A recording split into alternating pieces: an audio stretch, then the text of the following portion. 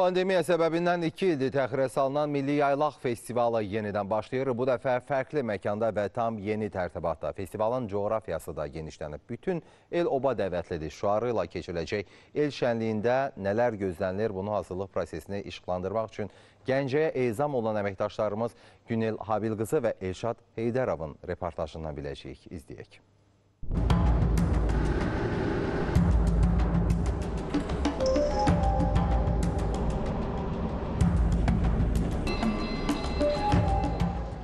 Dağ yüksəkliyində yerləşən Cavad xan zirvəsi və məhz bu zirvənin yaxınlığında 2-ci Milli Yaylaq Festivalının keçiriləcəyi Xan Yurdu yaylağı yerləşir.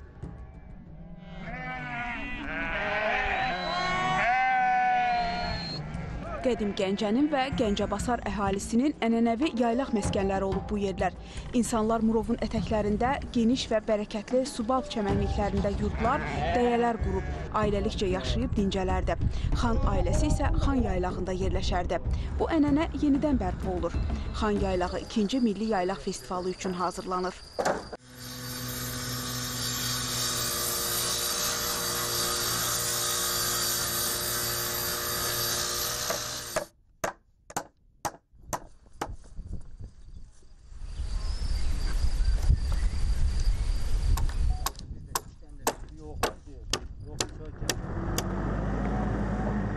Ərazi baxımından bu ərazi daha da böyükdür.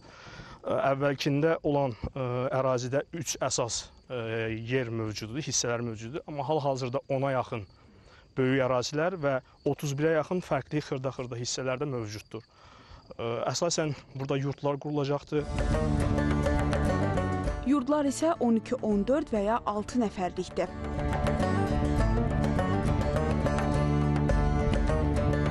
Burada siz çadırlarınızı gətirib öz yurdunuzu da qura bilərsiniz. Bunun üçün Milli Yaylaq Festivalının rəsmi səhifəsində qeydiyyatdan keçmə mütləqdir. Bu qayda yalnız ərazidə öz yurdunu qurmaq istəyənlərə aiddir. Festivalın coğrafiyası da genişlənib. İlk dəfə 2019-cu ildə Gədəbəydə keçirilən bu el şənliyinə 16 ölkədən 100-dən artıq qonaq dəvətli idi. Bu dəfə isə 22 ölkədən 300-ə yaxın iştirakçının və fəxri qonaqların dəvəti nəzərdə tutulur. Bizim vətəndaşlarımız necə iştirak edəcəklər? Vətəndaşlarımız burada ilk əvvəl düşündüyü kimi bura el şənliyi formatında düşünülür və bütün elimiz obamız dəvətlidir şüarı ilə keçirilir. Ona görə bütün hamımız üçün açıq olacaqdır bura. Cavad xan Tarix və Mədəniyyət Fondu tərəfindən reallaşdırılan layihə etnoqəsəbə formasında il boyu fəaliyyət göstərəcək. Yaylaq yurdu Gəncədən 22 kilometr məsafədə, Hacıkənd qəsəbəsinə yaxın ərazidə yerləşən əsrarəngiz güşədədir. Maraqlı və fərqli dizayn ilə seçilən bu yerdə möhtəşəm layihələrin həyata keçirilməsi nəzərdə tutulub.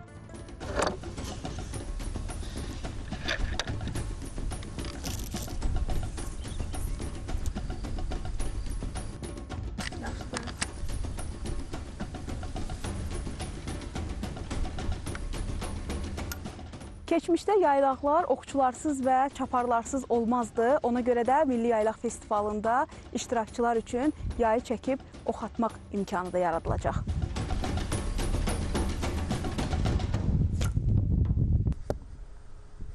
Bundan başqa ərazidə yaylaq bazarı, sənətkarlıq yurdu da fəaliyyət göstərəcək. Meydanda isə pəhlivanlar çıxış edəcək. Müxtəlif folklor nümunələri, konsert proqramları da təqdim olunacaq.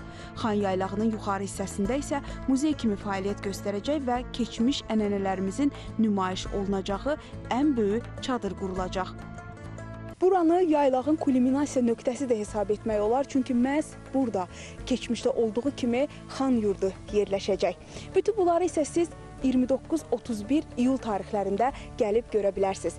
Günel Habil qızı Elşad Heydarov, Cavid İsmail xüsusi olaraq Gəncədən ASTV xəbər üçün.